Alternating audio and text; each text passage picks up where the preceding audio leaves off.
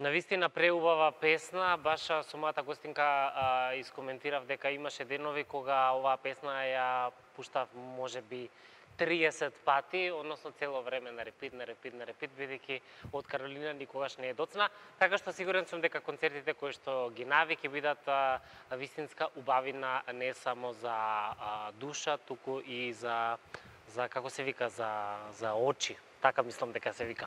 И ни каже еве нашата денешна гостинка, заедно со мене на моје драго задоволство за прв пат кај мене Ирина Тошева, веќе етаблирана дизајнерка кај нас, тоа можам да, да го кажам со сигурен став и за прв пат во студио со незиниот миленик, односно миленичка Мини, која што е всушност дел од секоја ревија, главна е во незиното ателје и се разбира доколку како клиента и се допаѓате, тогаш ќе може да имате креација на Ирина, доколку не тогаш е проблем, така е?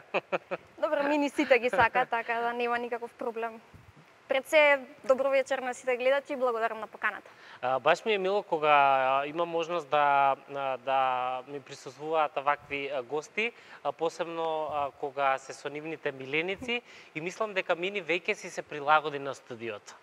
Да, малку беше збуната од целиот простор, затоа што е нов за неа, но еве сега како нас чувар, не чува и го прати муаветот. Баш убаво. Ирина, македонската јавност те знае веќе години на назад, иако си релативно млада, меѓутоа толку многу реви помина зад себе. Се чувствуваш ли како што те најавив, етаблиран македонски дизајнер? Па колку нескромно и да звучи со оглед на 6 години искуство, моето портфолио е навистина големо, затоа што активна сум секоја сезона, секоја сезона имам нова колекција. Покрај колекциите работам и на многу проекти, значи буквално секој месец имам по некоја нова точка во моето CV и сметам дека навистина веќе може да се каже дека сум етаблирана. А како започна Ирина со својата кариера и дали тогаш предпоставуваше дека ќе ти има на секоја модна ревија и тоа на еден навистина посебен начин и секогаш многу различен. Тоа морам да забележам и тоа многу ми се допаѓа, значи кај тебе креативата никогаш не запира и ако годинава сме те виделе во цветен дезен, в година ќе слеташ од облаците, може би. се надевам. па модата е таков медиум каде што мора секоја сезона да представиш нешто ново, сепак да го задржиш она по што си препознатлив, но да покажеш една нова приказна. Уште од почетоците си поставував предизвици, дали се боите, материјалите, начинот на презентација на колекцијата, така да се секогаш гледам пред се мене да ми биде интересно она што го работам, а потоа нели нормално да биде интересно на клиентите и јавноста. Приказната трае, како што кажа, веќе 6 години на почетокот беше тешко, но уште од почетокот самата знаев и бев решена да работам за себе, дека сакам сама да го градам својот бренд и ете лека по лека да стигнам до некое ниво кое нели се уште го надоградувам и се надевам дека ќе одам ете до небото. Да, а, се сеќаваш на првиот клиент кој што го доби? Искрено не се сеќавам, но знам дека голем дел од првите клиенти беа пред се моите блиски пријатели, така и се започнува, па потоа кругот се шири другарка на другарка и многу е убаво чувството кога по неколку години ќе стигнеш до некој клиент кој со кој што немаш навистина никаква допирна точка, кој едноставно следел твојата работа, ги видел твоите дизајни, му се допаднало она што го работиш и чисто ти сконтактирал и дошол во твојата ателја. Баш убаво. Јас се надам дека првиот клиент кој што ти била другарка или другар, а, не го виде овај момент, иначе ќе се најути. Но многу се јасно ми е, да. тоа било пред многу години наназад. А, колку колекции ти се случија до сега? Па за 6 години 12 колекции, значи секоја сезона тоа се сезонските колекции, но тука има и некои мини колекции кои што сум ги работела, така да околу 15-16 колекции би можела да кажам дека се вкупно. Која беше онаа која што да речам најмногу те крена на сцена, за која што најмногу доби реакција на самиот почеток? Секоја колекција си имала нешто по што била препознатлива, дали по енергијата, дали по материјалите, дали по начинот на презентација би можела да издвојам од првите колекции колекцијата Вила, затоа што беше препознатлива по цветните венчиња кои навистина направија бум и еве и ден денес може да ги видиме по скопските улици како okay. девојките ги носат, иако добро голем дел веќе не се изработени од мене. Така. А, потоа би можела да издвојам колекцијата Инхалон, пред се по едиторијалот кој ми е особено драг, затоа што таа колекција посветена на градот Струга. На градот, градот Струга. Да, Енхалоне всушност старото има на градот Струга, како што Лихнида е Охрид, така Енхалоне Струга. А, јас како охриѓанец срамота што ова не го знаев. Ама добро, може би Струга не е конкуренција, па знаеш. Може би. А, таа беше прва колекција каде што работев со две-три бои, значи се затвори во тие сино-бели тонови, затоа што инспирацијата ми беше водата. Следна по тоа колекција би ја издвоила колекцијата Дома, тоа е колекцијата со Ване Костуранов, за која што и ден денес се бара парче повеќе. И следна колекција би можела да кажам дека е колекцијата Риза, која беше првата 3D принтана колекција во Македонија и е соработка со Никола Конгуловски.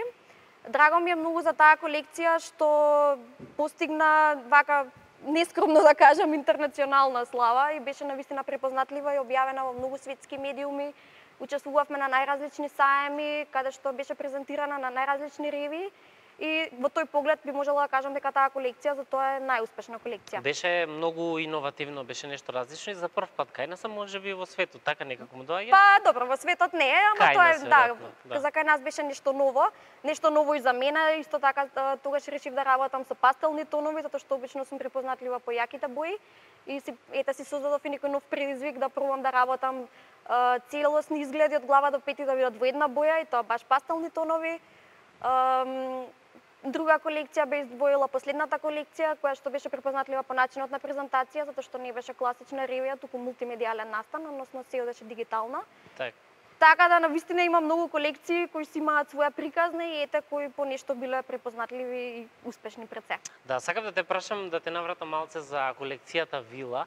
А, се случи момент кој што медиумите го проследија и веројатно за право, а, кога ги изваде тие цветни дезени и венчиња и кога многу започна да те копираат. Дури имаш и официјален твој Да. став во однос на тоа. А, успеваш ли со текот на овие години да ги заштитиш своите дизајни и реално дали тоа законски или етички е возможно кај нас? За жал не. За жал не, а? Предпоставував дека ќе биде таков одговорот, за жал. Да, за жал не. Значи, кај нас законот не е доволно регулиран, со тоа што јас треба, доколку сакам да заштитам некое парче, можам да го заштитам само тој дизајн, а не можам да го заштитам, на пример, цветното венче како цветно венче. Аха. Затоа што секое цветно венче нормално е различно. Затоа што е рачна работа и да сакам самата не можам да добијам копија. Мислам, тој тоа соопштение во медиумите тогаш беше затоа што јас сакав чисто да се знае дека да, јас не сум ги измислила цветните венчиња, но бев првата во Македонија која почна да ги работи и која покажа дека од некои работи кои може да се купат кај нас, може да се направи цветно венче. Ни на буквално и на крај на памет не ми беше тие венчиња да ги продавам јас, тие беа чисто како додаток на колекцијата, на сами на самите изгледи на пистата, но на јавноста на вистина и се допадна и тогаш решив дека сепак ќе одат во продажба. Од денешна гледна точка, кога ќе видам нешто што е копија или многу потсеќа на некој мој дизајн, искрено не сум навредена, туку сум поласкана. Тоа сакав да ти кажам. Обично како викаат, ако те копираат, значи дека на вистина е нешто добро, Да. иако да не се лажеме, од страна на креативец, првиот момент не е баш еј супер Нормално ме е копираат. дека те боли, секое Да. што е искуство, лошо искуство што прво не, не ти е многу пријатно и убаво и не знаеш како да реагираш, но со тек на време некако станува нормално. Иако многу ми е жал кога ќе видам а, неш, некој дизајн што многу потсеќа на мојот, што тој човек мене не ми сконтактирал претходно, чисто да ме праша, па доколку еве не знам, цената не му одговара или едноставно не може да си го приушти, тогаш ќе разберам за зашто направил некоја копија. Скапа си? Па не би рекла. Прашањето ми беше многу кратко. А, не, предпоставам Свесна сум дека живеам во Македонија Да, и се приспособувам на пазарот колку што можам. Да, тоа сакав да кажам, веројатно креациите кои што ги правиш ти и останати дизајнери, би требало да се вреднуваат а, многу многу повеќе од она што се, без разлика и цената која што е моментална на некои луѓе да им изгледа висока, меѓутоа станува збор едноставно за целосен дизајн, дури не Па не, не е желба. само дизајнот, туку еве јас на пример голем дел од моите колекции сам материјали ги нарачувам од странство. Доколку се соработка со некој друг дизајнер или уметник, како на пример колекцијата со Ване Костуранов, тоа беа материјали кои беа печатени во Америка и за кои што јас плаќав навистина високи царини, шипинзи И тука има навистина толку многу трошоци и плюс нели самиот дизајн кој треба да го наплатиш, а сепак цените беа толку прифатливи и толку луѓе можеа да си да си ја дозволат. Секогаш гледам да да се приспособам на пазарот, но треба и јавноста да биде свесна дека се нудат пред се дизајнерски парчиња, се нудат и уникати, голем дел од моите парчиња се уникати, значи секој е само по едно. Так. И треба да бидат и на некој начин поласкани оние кои имаат можност да носат некоја парче. Жално е што дизајнерите толку се приспособуваме на пазарот, што кога ќе направиш некоја споредба од нашите дизајни и оние од мас брендовите на цените, ќе видиш дека нема некоја огромна разлика, а така не смее да биде. Да. Со оглед на значи освен нели користените материјали кои еве за мене лично се еколошки, материјали печатани со природни бои, Условите во кои што тие колекции се работени, значи не се шиени од деца или од шивачки кои работат за минимално, значи буквално треба да си имаат на ум сите сите тие фактори за разлика yes. од луѓето кои купуваат од мас брендовите. Да, многу тајни крие модната индустрија. Баш гледав документарец, да не правиме реклама на други компании, меѓутоа за светски познати компании кои што продаваат по просечна цена 100 евра парче, а тоа парче да го сошијат ја чини некоја жена во Виетнам или кај да е буквално 3 долари се на се. И тоа е на вистина штета кога дури и несвесно некојаш ние ги поддржуваме таквите компании да. бидејќи ќе го купиш, ти се допаѓа, ама не ја знаеш приказната за тоа. Да, и голем дел од тие компании шијат и кај нас. Ете така, да. Ова е интересно, треба малку да го подистражиме ново друга тема. Денеска ќе се задржиме на твојата енергија и а, креатива. Може да побараме од режија дел од фотографиите на незините колекции. Еве може да одиме со првата из SS17, тоа е фактички Spring Summer. Spring Summer и јас го дознав тоа пред а, емисијата. А, многу ти се интересни урбани сесиите кои што ги правиш. А, Тоа е во договор со некој друг или целата идеја е твоја? Не, не е секогаш идејата моја. Работам со секогаш со фантастичен, веќе докажан тим. Тоа е Миладин Паповиќ и Виктор Мирчевски и Дарко Петковски од Херхаус. секогаш гледаме за секој едиторијал да има една приказна, независно дали е самата приказна на колекцијата како што е во овој едиторијал, а тоа беше на враќањето кон природата. Uh -huh беше на вистина тешко да се сними овој едиторијал затоа што со цела опрема одевме до водопадот Дув, до кој што има километар пешачење. Маврово. Маврово. Катастрофа, единица по историја за мене. и целата обработка потоа која трае неколку месеци од страна на Миладин Паповиќ. На сите на сите овие едиторијали работиме сите сложно и заедно и секој јас сум секогаш тимски играч и секогаш сакам секој да може да се прикаже својата својата идеја и сите буквално даваме максимум. Виктор Мирчевски шминкерот на на пример на овој едиторијал лепеше цветови, тоа беа вистински цветови. за кои што имавме и мал проблем затоа што по неколку сати нормално почна да се сушаат, па лепевме нови цветови. Но секогаш секој едиторијал е едно одлично искуство и прави да функционираме се подобро и подобро и да имаме што подобар и подобар производ. Да, јас предпоставам дека ти веќе се чувствуваш како дома тука. Да. Дали е тоа така? Така е. И Добро. мини. И мини, мини веќе ќе си успее, зошто да, да не. А, имаше и една колекција која што ја нарече Дома едиторијал а, барем така се материјалите кои што ги пративме. Може да го погледнеме и тоа и да го искоментираме, бидејќи ова е само дел од сето она да. што да. ти го работиш до сега во овие години. Еве го, ова е таа колекција, така? Да, колекцијата дома беше соработка со Ване Костуранов. Сметав дека имаме заедничка, мислам, слична естетика, таа некоја детска нота која се проткајува во моите дизајни и во неговите цртежи. Uh -huh го исконтактирав со задоволство прифати затоа што и за него беше прв ваков проект. Имав на вистина широко отворени раци и огромна доверба од негова страна и таа колекција ја, ја нареков едноставно дома, затоа што беше со толку многу весели, топли тонови, големи джемпери, затоа што последниве неколку години веќе голем дел од луѓето си селуваат од нашата земја и сакав чисто да покажам она енергија на и чувство кога си дома. Дома ти е убаво на душичката, топло. така се осеќаш топло и затоа е так, се такви боите на колекцијата. За разлика од тоа, приказната на едиторијалот беше поразлична, односно беше посветена на скопскиот ноќен живот, Uh -huh. култниот скопски ноќен живот и решивме да ја фотографираме на скопски култни места, да, да прикажеме дека секој секој правил живеле со другарката во диско, завршил во казино, чекал такси во Пеца Вајлен из сонце, значи буквално отишол во балет, пиал шатови на шанк, значи буквално сите оние елементи од една скопска искачанка. Да, и а, секој место ти е дома, доколку се чувствуваш свој таму, Така, нели? да. Тоа е моментот. Да. Како се случи соработката со а, Ване а, Костуранов? Има толку многу а, дела, а, ти му се јави, му рече Ване, слушај, многу ми се допаѓаат сликите, може ли оваа да биде а, како принт на мојот материјал? Како функционира тоа? А, тоа беше баш по промоцијата на мојата колекција Халон.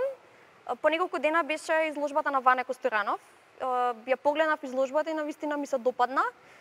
И му пишав едноставно, Ване, иако не се познаваме лично, јас навистина ја ценам твојата работа, ми се допаѓа она што го работиш, дали би сакал да се работуваме? Тој ми возврати истите зборови исто за, за мојата работа и со првиот автобус отидов во Струмица и се договоривме. Баш убаво. Беше толку Беше во ателието негово? Да, имав тогаш можност баш кога ја спремаш и новата изложба исто да ја погледнам. И драго ми е што ете имав можности да го дотерам за таа изложба каде што носеше дело со принтовите од дома колекцијата. А како си оди тоа нешто? Имаше како авторски права или? Да, нормално, тоа си е секогаш договор. Си се договараш со дизајнерот, уметникот со кој да соработуваш и тоа е тоа. Следниот пат копијата е договор. се шегувам. Баш убаво кога се случуваат вакви соработки, бидејќи секоја креатива е побогата кога има и втора креатива.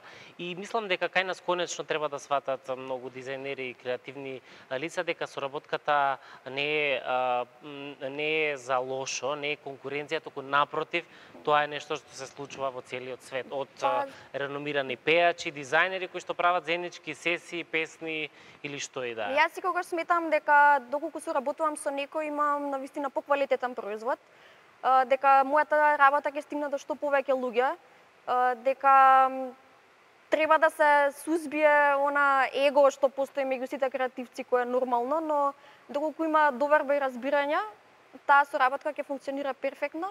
И драго ми е што еве од толку години, од толку соработки, на вистина таа енергија се препознава и во самите дизајни, проекти, независно за што сме, сум работела со некој. Така, Ирина, со тебе бесконечно може да ни траат муабетите, ќе направиме мала пауза, ќе ќе продолжиме на друга тема. Одиме со реклами и се враќаме во студиото со моите денешни умилени гости.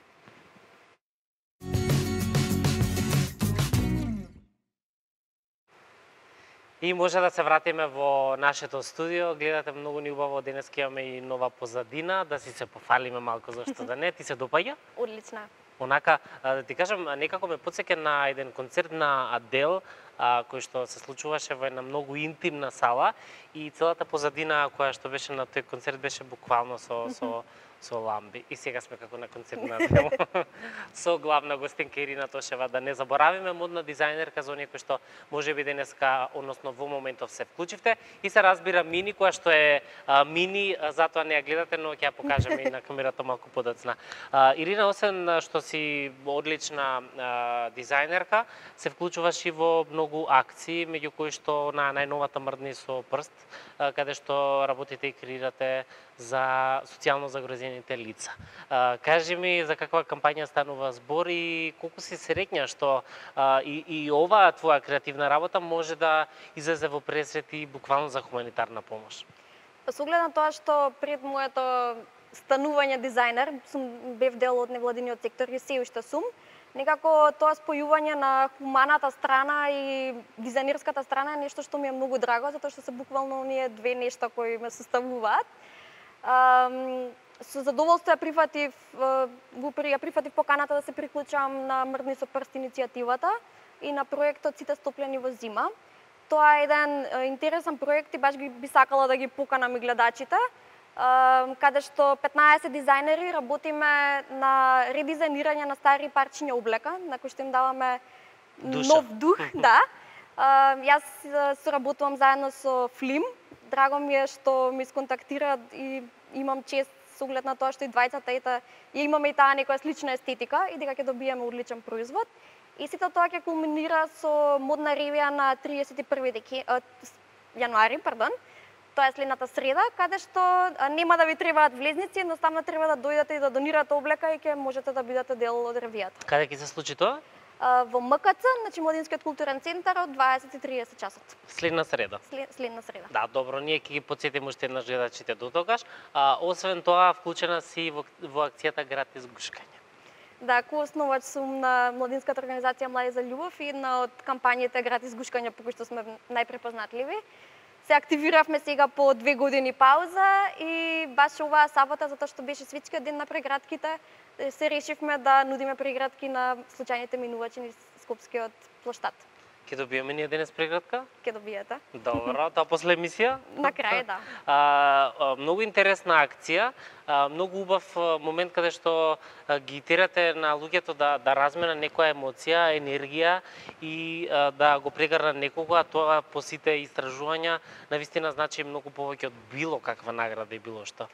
Како ви кликна за ова? Дури знам дека имаше како а, хартија, нели, со исечени парченца каде што Да. пишуваше гратис гушка. А, кампањата Гратис гушкање веќе ја одбележува оваа година 10-та година како е во Македонија. Таа е 10 години. Да, започната е во 2008 година. Од тогаш си имам приклучено и јас. Ем, тоа е кампања низ која што минале на вистина толку многу луѓе, сме поделиле толку многу прегратки, сме го споиле со хуманитарни настани, сме направиле толку многу и жал ми е што овие две години не бевме доволно активни. Но се решивме да се активираме со оглед на целата ситуација и луѓето дека се обседнати со своите проблеми, што е нормално и дека треба на момент да се опуштат и да ја сватат моќта на преградката и едноставно да гушнат некој и да заборават на се. Така. А, јас ќе побарам од режијата да го видиме бекграундот а, Ирина Тошева ТВ, а, кој што е дел од оној а, едиторијал за една од незините модни ревии, чисто да види Ирина како изгледа тоа да биде во незина лична позадина. А, па следствено на ова ме интересира малку твојот став за модата кај нас. Дали сме модна нација, како го ја разбираш модата кај нас, колку луѓето кај нас внимаваат на тоа? Кај нас или премногу се внимава или воопшто не се внимава, зависи за кого разговараме.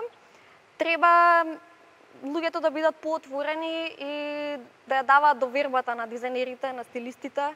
Значи зборувам тука и за јавните личности, за политичарите, за сите категории на, на луѓе. Мгм. Ам, треба да ја ценат да ја ценат работата и уникатноста за која што зборувавме предходно. Би можела да оценам дека има благодарение на интернетот многу млади кои се модно освестени и кои на вистина предобро се облекуваат, кога ќе ги видиме по скопските кафулиња и улици.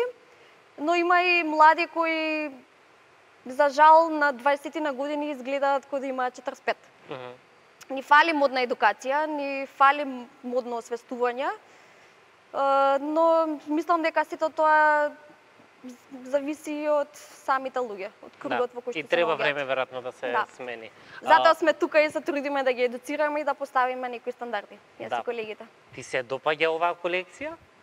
На една позната дизајнерка од кај нас. Е, да. Позната ти изгледа, нели? Да, ова е видеото за мојата последна колекција. На овој начин беше презентирана колекцијата, немаше модна ревија за прв пат. Тоа ми беше предизвикот, начинот на презентација да биде баш дигитален. Да. А, многу е, интересно и многу необично. Немаше класична а, фотосесија, туку во оваа форма. Каде го снимавте ова? Ова е снимано во Прши салонот каде што претходно беше моден викенд. Така. Беше на вистина тешко да се најде соодветна локација кај нас.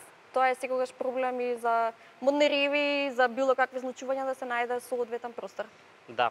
Инаку а, морам да откриам дека ова знакчето кој што на крај го видовте како а, закачалка за Алишта, а, всушност е и тетоважа на Ирина. Може ли да ја покажеш на камерата тетоважата?